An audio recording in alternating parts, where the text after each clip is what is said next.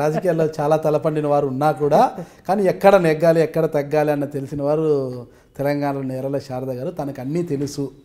ఢిల్లీలో ఏం చేయాలి గల్లీలో ఏం చేయాలి అన్నీ తెలుసు అంటుంటారు. సరే ఓకే మీరు అది కాకపోయినా ఎంపీ టికెట్ కాకపోయినా వచ్చి ఎమ్మెల్సీ ఇస్తారు ఇంకోటి ఇస్తారు అంటున్నారు.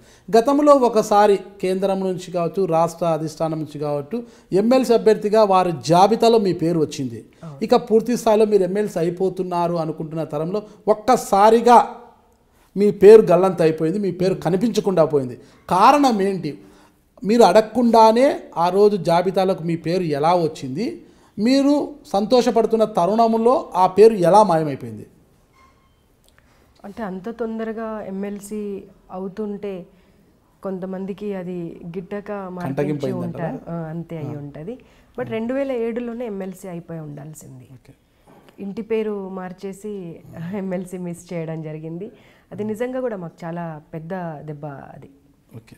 ఆ రోజు ఎమ్మెల్సీ అయ్యి ఉంటే వాళ్ళ పరిస్థితులు వేరుగా ఉండేవి. అంతే కదా? ఇప్పటికి రెండు సార్లు అన్నారు మీరు. నేను జెడ్పీటీ జెడ్పీ చైర్మన్ అయితే మాకు చిక్కరు మాకు ఇబ్బంది అవుతుంది. అనే దాంతో కొంతమంది అడ్డుకున్నారు. నాకు టికెట్ రాకుండా చేశారు అని కొంతమంది అన్నారు అంటున్నారు మీరు. ఎమ్మెల్సీ నుంచి నేను అంత తొందరగా ఎమ్మెల్సీ అయిపోతే మళ్ళా కష్టం మాకు అని కొంతమంది అనుకుని నన్ను ఇది చేశారు అంటారు. ఈ కొంతమంది కొంతమందే మీకు వ్యతిరేక శక్తులుగా ఉన్నారు. అవే శక్తులు ఈరోజు అడ్డుకుంటుంటే నాకు ఎవరితో ఏమీ లేదండి విభేదాలండి. నేను అందరితో బాగున్నానండి అని ఇక్కడ అంటారు. అంటే ఇక్కడే ద్వంద్వార్థాలు ఉండే ఆడేమో కొంతమంది అడ్డుకుంటున్నారు నా ఎదుగుదలను అడ్డుకుంటున్నారు అని కొంతమంది అంటున్నారు.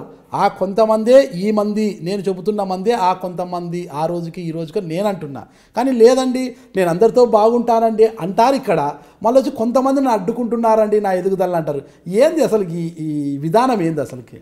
మీరు కన్ఫ్యూజన్లో ఉన్నారా? లేదంటే మీడియాని ఏమైనా కన్ఫ్యూజ్ చేస్తున్నారా? నేను పదే పదే చెప్పాను. నా వైపు నుండి నేనైతే బాగున్నాను.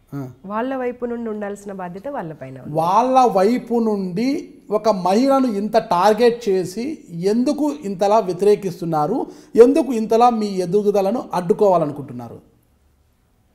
అది వాళ్ళే సమాధానం చెప్పాలి. మీరు ఎప్పుడైనా పోస్ట్ మార్టం చేయలేదంటారా? చేశాను. ఏం తెలుసుకున్నారు పోస్ట్ మార్టంలో? చెప్పాను కదా ఇంత తొందరగా ఎదిగిపోతే ఎలా అని. ఓకే. అంతే.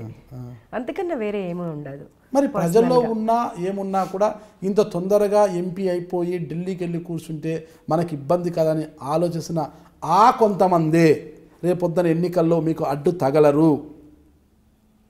నాకు ప్రజలపైన ఈసారి నమ్మకం ఉంది.